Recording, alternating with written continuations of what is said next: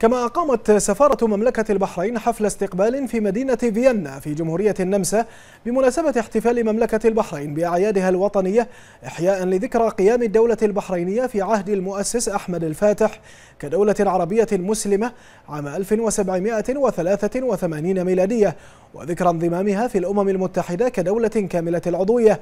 وذكرى تولي حضرة صاحب الجلالة الملك المفدى يده الله ورعاه لمقاليد الحكم. وقد استقبل سفير مملكة البحرين لدى النمسا المقيم في جنيف الدكتور يوسف عبد الكريم بوتشيري وحرمه إلى جانب أعضاء السفارة المدعوين الذين شاركوا في إحياء احتفال مملكة البحرين بأعيادها الوطنية.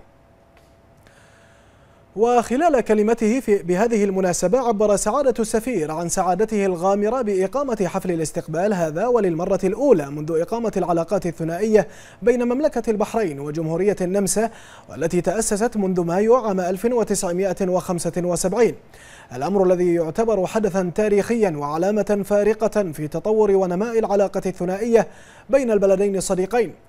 كما أشار السفير إلى تاريخ مملكة البحرين الدبلوماسي العريق ورصيدها المتميز في إطار العلاقات الثنائية والمتعددة الأطراف والتي ميزها التوازن والموضوعية والتعاونية وحيث تحتفل المملكة هذا العام باليوبيل الذهبي للدبلوماسية البحرينية والدور المتميز الذي قامت وتقوم به المملكة في الساحة الدولية منذ تأسيس دبلوماسيتها.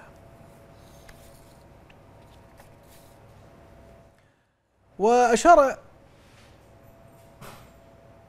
وأشار السفير إلى تنامي التعاون الإيجابي بين حكومة مملكة البحرين والأمم المتحدة وتحديدا مكتب الأمم المتحدة في فيينا مؤكدا على الاعتزاز بالتكريم الأممي من المنظمة ومنح جلالة الملك المفدى حفظه الله ورعاه جائزة منظمة الأمم المتحدة للتنمية الصناعية اليونيدو تقديرا للدور العالمي لجلالة الملك المفدى ولمملكة البحرين في تكريس قصة نجاح النموذج البحريني لريادة الأعمال. وتكريم سمو رئيس الوزراء الموقر وتسميته قائدا عالميا في مجال الصحة تقديرا لدوره الرائد في مجال العمل الصحي لدعم المبادرات الإنسانية. وفي الختام عبر المندوب الدائم عن شكره وتقديره للمشاركين في الاحتفال الذي حضره كبار المسؤولين في حكومة جمهورية النمسا وإقليم فيينا.